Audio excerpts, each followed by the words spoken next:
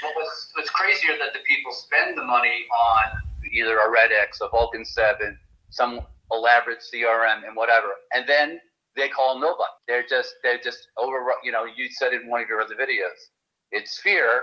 And when you ask people why they don't call, they always say, "I don't know." So exactly. It's, Listen, it's, it's, if we're coming back around to like fear of calling and people that just won't call and stuff like that, it's hard for me to relate to that. To be, I mean, I can relate to a certain extent, but I can't relate to the extent that people won't call. Like I can, I can relate to like being scared to call. Like I get that. I can I can relate to I can relate to some of the anticipation of some negative phone calls and stuff like that. I can relate to it. I can't relate to that stopping you from making the calls at all. I cannot relate to that whatsoever. I had the hesitations and stuff in the beginning, mm.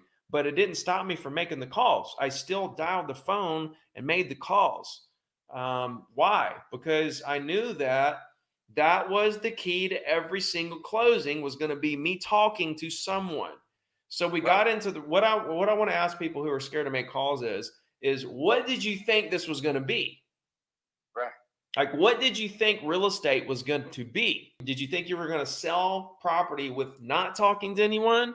Did you think that like people you knew was going to refer you enough business to like make you a superstar and you wouldn't have to actually work to find new clients? You know, I don't know. Did you think you were going to post on social media and your phone your phone was going to blow up?